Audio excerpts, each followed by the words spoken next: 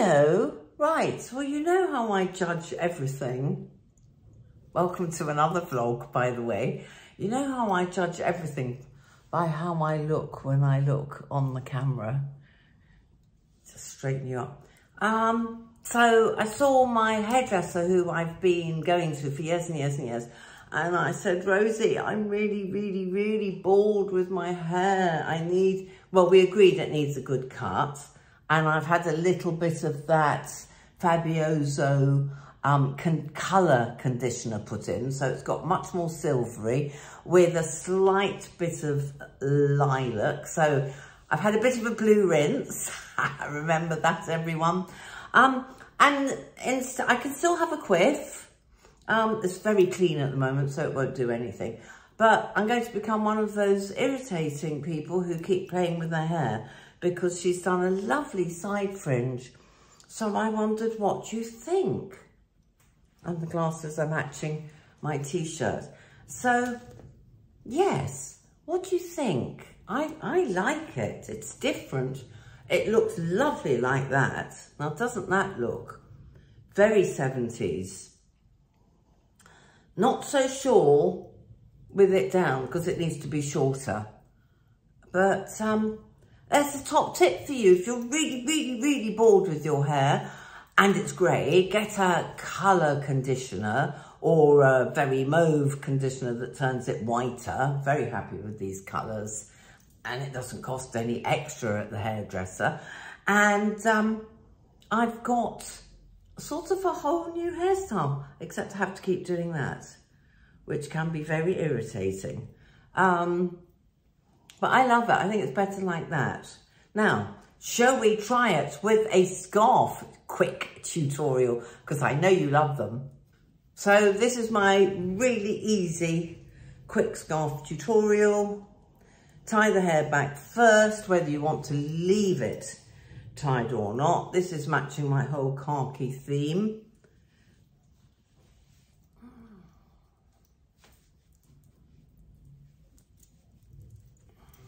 One, two. Very good for a day like today because it's very windy out. How's that? That's not two. See, I think that looks really nice. Down, yep, better, better. So there we go. A slightly different look. Let me know, some people are very rude and say things like, very few people actually, that top doesn't go with your skin tone. Actually, I've had my colours done, so I do know what goes with my skin tone. And anyway, who cares? Um, so yes, if you're going to be very rude, jog on. But I, I know you lot on YouTube won't be rude. It's people on Facebook and Instagram who tend to be really rude. Um, so what do you think? Thumbs up for a side fringe? It's different, isn't it? And I don't need wispy bits because there's a bit of interest going on. So I thought I would run that past you and see what you think. And it's a good top tip, isn't it? So I hope you like. If you're really, really bored, change your fringe. Right, okay. So um, I've said welcome to another vlog. This week's one, because I only got back on Tuesday night from the Scottish Highlands. It was the most amazing trip. I'm only going to show you a bit this week. Um, I'm going to show you Glasgow because I had lots of other things that I didn't show you before. Um, but we are going to do clothes in a minute. But coming up, the place I stayed in the night before Goodwood Revival, which you saw last week, or was it the week before? Can't remember because I've been away. Um, was absolutely stunning and it's a place where you can do courses and it's really cheap out of Goodwood Revival weekend. Very modest rooms, but wait till you see the house and the grounds. And then I've added a little bit of things I didn't have room for from Goodwood Revival, just a couple of eccentric little bits for you to enjoy. And then we go to Glasgow. Well, I went to Glasgow a day before my friend. I flew up and then she came the next day by train from Edinburgh, where she'd been spending some time. She's one of my oldest, bestest friends. She's a Brit, but she lived in Australia for, oh gosh, 40, 40 years, could be longer, 50 years, frightening. Where's the time going? So you'll see her towards the end of our bit from Glasgow. Then we got on the train. That's when the sagas began there was a rail strike. It affected the whole country. So we had a lot of buses instead of trains. There was a breakdown, so we were really late getting to the Isle of Skye. But apart from that, it was all, all wonderful. So this is, um, there are two things I'm going to do. I'll do the boots first. Jane Upton on Facebook. I don't know if you're watching, Jane, but you are specifically about boots for the winter months and how they don't suit you. I have exactly the same problem. I also loathe tights, that feeling of your toes being dragged up or your toenails. So I need to live in a warmer climate. So I'm just going to show you what I do, but bearing in mind, I've got a short torso and short legs. So this isn't for everyone. Um, I'm going to put a skirt on so you get the general idea. I don't wear a lot of skirts, as you know. So uh, this doesn't go... Well, while I'm here, while I'm here, let's do this bit. Um, glasses on to match the t-shirt. You all know this and it's so obvious, but it might be a good top tip for you anyway. Um, I can go, if I wear something like this, I can literally go from walking jack and then I use a bum bag and this is my new thing. I'm going to start getting more bum bags. Sorry, fanny pack in America. Um, we find that very rude here because I've told you this before. Fanny in England means down there, front, bottom. So we get very um, embarrassed if people start going on about our fannies. Um, anyway, fanny backpack or bum bag. That's a bum in England.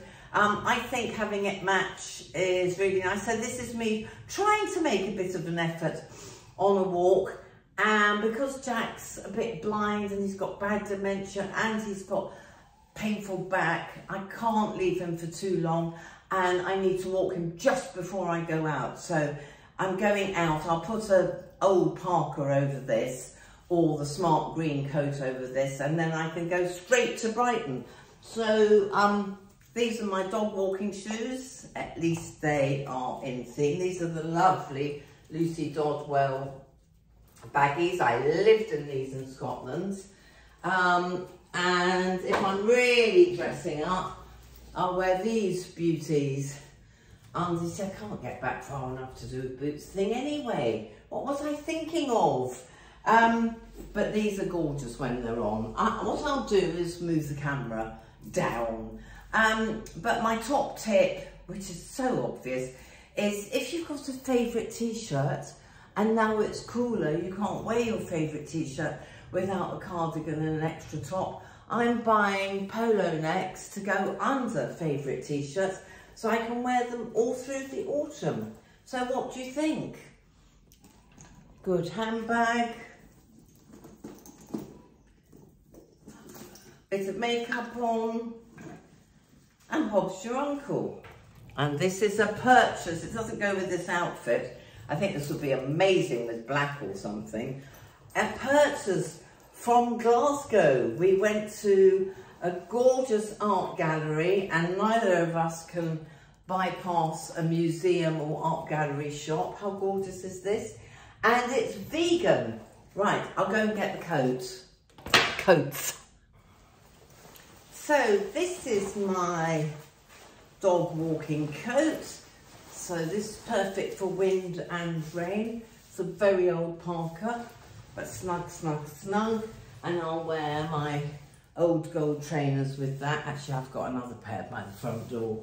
And then when I, and everything's in here. And then when I want to posh up a bit, um, because I often bump into subscribers so I have to make the effort, otherwise they'll take one look at me and go, she doesn't look like she does on the TV, um, yeah, on the video. Um, I always, I think I met somebody recently and I gave her a big hug. I, you always get a hug and I'm always absolutely thrilled. Never worry about coming up to me, but I promise I won't get the camera out. I don't think it's particularly interesting for everyone else. Um, so that's my beautiful autumn coat. Actually looks a bit boring like this, doesn't it? This is the trouble. I get things and think they look fabulous and then put them on in front of you and think, oh, not so sure. Um, okay, looks better with the bag. Looks even better like that. And, oh no, I haven't got them. I was going to say, and I bought some beautiful mustard green, mustard green, mustard yellow um, gloves somewhere in Scotland. I had to buy something from every place we went, so must have been the Isle of Skye. Um, so that's my going out to Brighton outfit, and if I'm not walking miles, I'll put these beautiful boots on. So let's get on with the boots thing. I hope you keep watching though, because you like scenery, don't you? And you like wonderful old English country houses. So you'll get plenty of that. Um, probably quite a bit of music as well. Okay, right, on with the boots question. But I'm going to have to go over there and pull these up uh, and put a skirt on. Sorry, it's... Oh, do you like the nails? I just felt like something autumnal. Um, and it's not going to be very good over there. But at least it will give you an idea. Right, let's move you a bit. There we go. Oh, there's my yoga mat. Um, so I personally think, right, you're only concentrating on the bottom. Don't look at the top bit because nothing goes and you know me. So I personally think for me being a short ass, this type of boot is just perfect for under trousers and underskirts. What I normally do is wear leggings underneath in the winter, have that bare, which seems to be a bit of a trend now, thank God, and a pair of little socks. So with the right outfit, I would wear these. I hope you can see, move that away. But also, look at this, is this is, this is what I do. I don't like, but this is just my style. I am not a boots up to the knee, straight skirt type of girl, but many of you watching, it might suit you. It just doesn't suit me. So I hope this helps the lady who said she can't wear boots with anything. Anyway, these are new and I can't wait to wear them. Russell and Bromley. Ugh. These are new for winter. Autumn, winter, look at those beauties. See, that's a boot. That's a boot without being a great big boot. And I've also got chunky biker boots. I love those as well. But you know, that's my style. It's not, it's not everyone's style. And also, I like a little boot like this. This is very flattering. Oh, I found a sock. That's handy. And I think I wore this with my outfit at Goodwood because these are actually vintage. So I would wear leggings underneath that you can't see. And um, so imagine the dress is about that length, little socks, but these are these are quite dainty and it's a good height to flatter your legs. So I do hope, look at the state of me, I do hope that's helped. Jane, I do hope you see it. Um, and I do hope I've answered your comments because I was away for 10 days. Um, I might have neglected you, so please forgive me. Right, so I hope you find that interesting. Let's pull our trousers down. Um, on with the rest of the show. So the, the first bit is this amazing college. Let's move you again. This, you see, I'm going to have to keep doing this. This amazing college there we go, um, that I found in uh, very near Chichester. E oh, I keep saying Eastdean, Westdean College. Have a look. I absolutely loved it. So beautiful. Hope you enjoy. Just look at this. It's the only room I could find near Goodwood. And it's in the middle of a big park. This is stunning.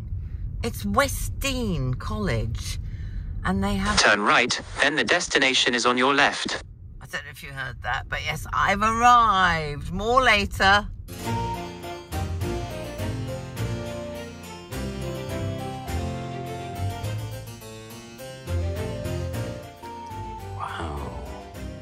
Look at this. Hard to believe it's a college.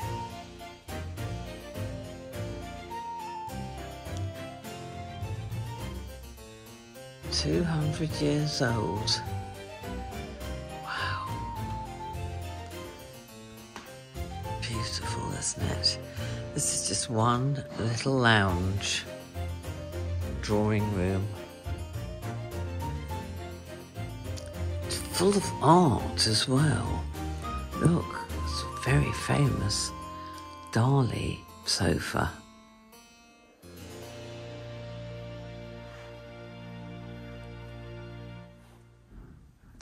How's that for a view? So this is the countryside surrounding Goodwood um, and this area, East Dean or West Dean. I'll take some more footage.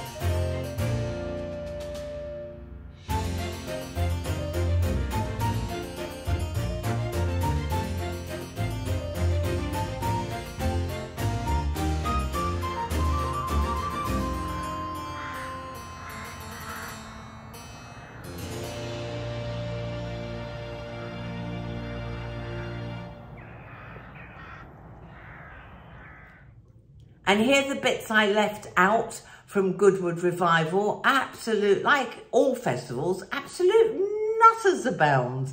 Um, so I ho hope you enjoy it. Well, the first people aren't nutters, um, but the rest of it is very short bits. Okay, beautiful people, look at you.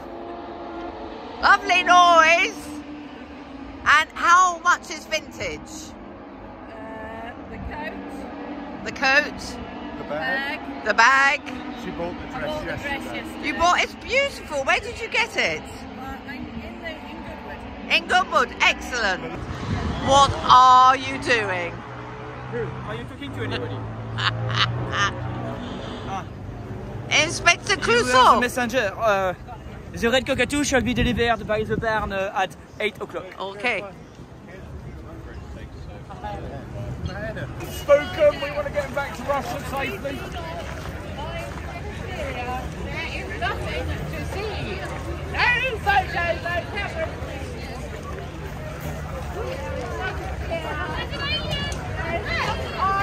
Russian scientists.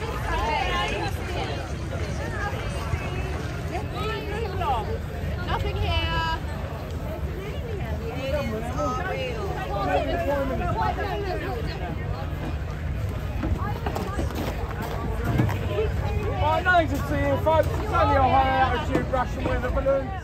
And finally, we're off to Glasgow. Um, I'm putting this is a two-part trip because I wanted to, as I said, haven't had much time to edit. You know, I do all my own editing and add my own music and do all of that, which I love. Um, but I wanted to get this done. So this is our first stop, three days in Glasgow. Jude joined me on the second day uh, before, and we will end with us setting off to the Isle of Skye by train. What you won't realise is that we got an hour out of Glasgow and a train or something to do with maintenance had broken down on the rail track and we had to go all the way back to Glasgow and then wait three hours for another train. So we got to the Isle of Skye. I'll probably repeat myself next week at half past 10 instead of half past three. So we lost half a day. Gutting. Anyway, I hope you enjoy the little bit of Glasgow, our highlights.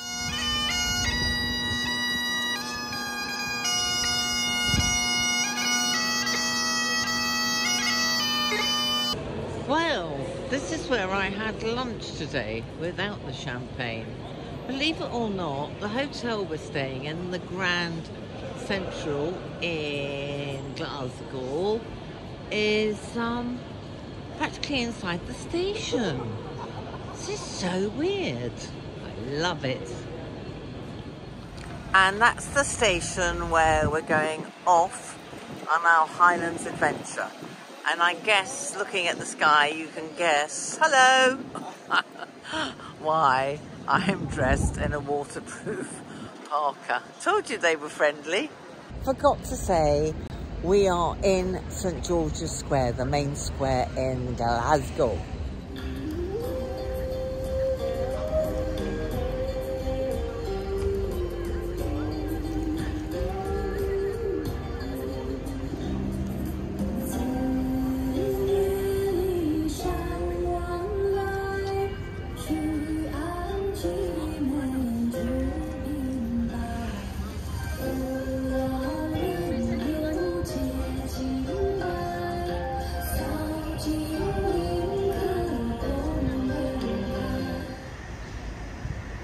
And Glasgow at night.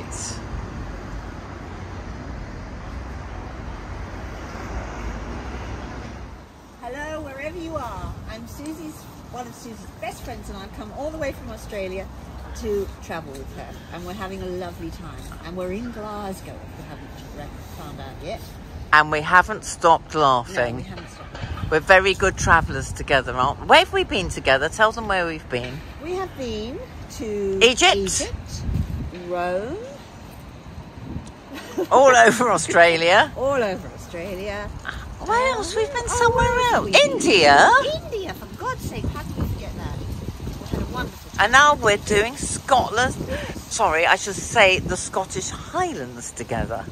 Look, it, it's autumn, folks, up here. Up north, north, north. And it's lovely. Lovely people. Friendliest Lovely. people in Britain, I say.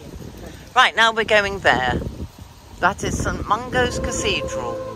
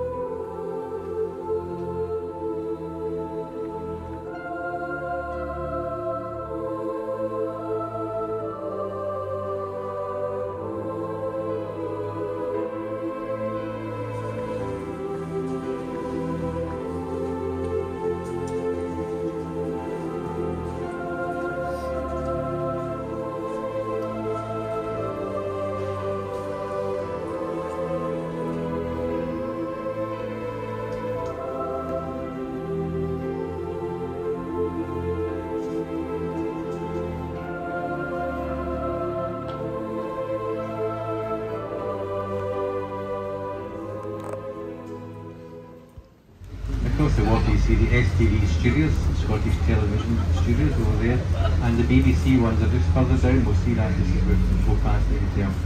So this is stop number 10. The building uh, straight ahead and slightly to the left now is the Clyde Auditorium. Uh, this is a 3,000 seater um, auditorium which was designed by Lord Norman Foster. Now when it was built, it was made to look like the upturned hulls of little boats, but Glaswegians decided, no, we think it looks more like the South American mammal, and it's forever called the armadillo. Two miles outside Glasgow called Springburn, which made uh, steam locomotives all over the world, and they were transported down here and loaded onto ships on that train. The building to the right hand side with all the holes in it is called the cheese grater, for obvious reasons. I'd hate to see the size of mice uh, that eat the cheese from that, but that's nothing more than a car park. It's a 1600 um, car park for the hydro. Oh, look at those trees.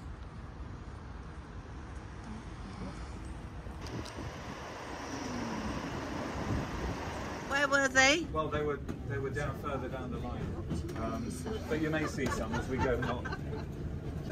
Ah, well, that's part of the. Did you get the gap every now and then? Yeah. You want to my arm? No. Are you all right? Yeah. Have a look at that on your right now. Oh, You're okay. Best best best photo opportunity so far. Look there, Richard, take a photo on your right. Richard, on your right, that castle That castle. house. Oh, there you It's go. probably a hotel. A hotel, yeah. It could be the Inverlochy Hotel. Hogwarts train. Look.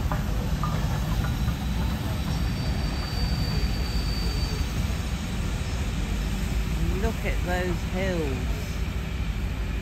Wish we were going on it. They're going across the Hogwarts, the viaduct.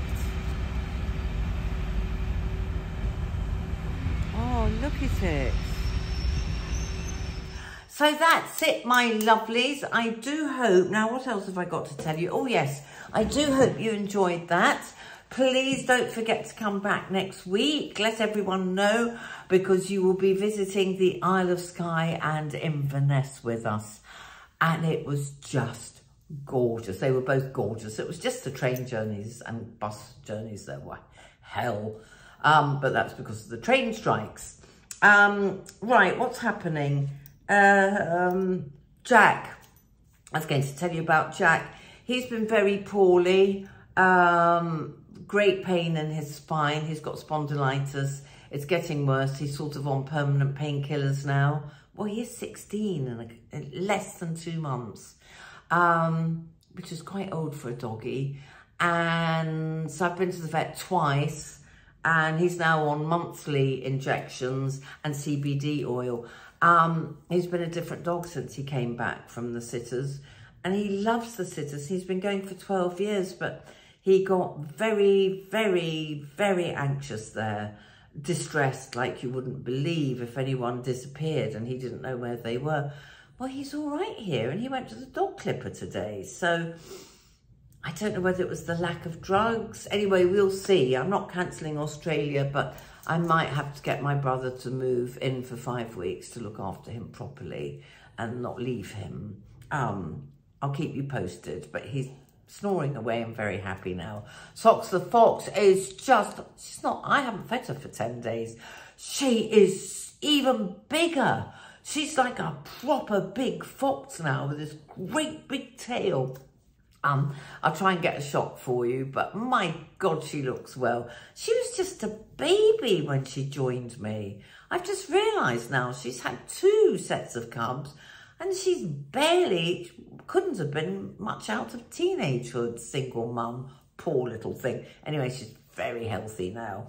And finally, oh yes, I'll be doing, for those of you who join me on Instagram, I'll be doing a live with Dr. Ahmed this week. Um, hopefully, I think it's Wednesday. Uh, keep an eye on Instagram. I will alert you. But if you have any questions for the aesthetic doctor, natural treatments, like I had my collagen injection, so my own collagen would get to work. If you, oh, and I've got a beauty product to share with you, um, I think next week as well. Mm, yes, anyway, lots going on. Um, but if you have any questions for Dr. Ahmed about what to do, I'm going to ask him about this bit. I can't see how he can do that naturally, but we'll see what he says. That's all I need, I want done. Just tighten. Mm, exercises. Um, so if you have any questions, please ask away. Put them in comments. Otherwise, um, I was going to say, I hope this isn't too short. I say that every week, but it possibly is. But I think you'd prefer every week, however short, to not appearing at all, wouldn't you? I do hope you agree. Okay, my lovelies, and see you next week. Bye.